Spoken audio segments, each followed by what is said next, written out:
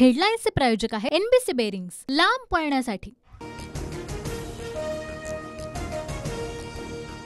CCTV फुटेजसह हॉटेलचा मालक आणि कर्मचारी पुणे पोलिसांच्या ताब्यात. व्हिडिओत दिसणाऱ्या तरुणांची चौकशी करून दोषींवर कारवाई करणार पोलीस अधीक्षक अमितेश कुमार यांची ही प्रतिक्रिया.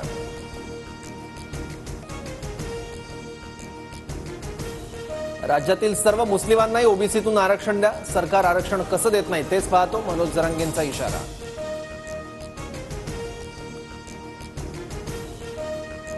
धर्माच्या नावाने कोणालाही आरक्षण मिळू शकत नाही. जरांगेंच्या मुस्लिम आरक्षणाच्या मागणीनंतर नितेश राणेंचं प्रत्युत्तर.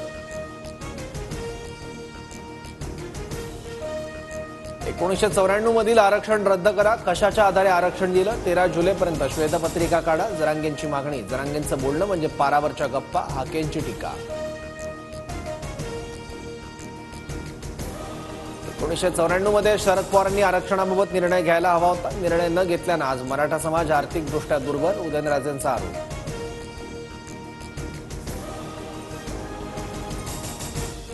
जळगावातील शिंदेच्या सभेनंतर शिक्षक संस्थाचालकांना पैसे वाटले पुरावे दिलेत. पैसे वाटणाऱ्या पदाधिकाऱ्यांची माहितीही देणार सुषमा अंधारेंचा इशारा. दरेंनी माझ्यावर केलेले आरोप खोटे शिक्षकांची बदनामी करण्याचं काम सुरू किशोर दराडेंनी अंधारेंचे आरोप फेटाळले.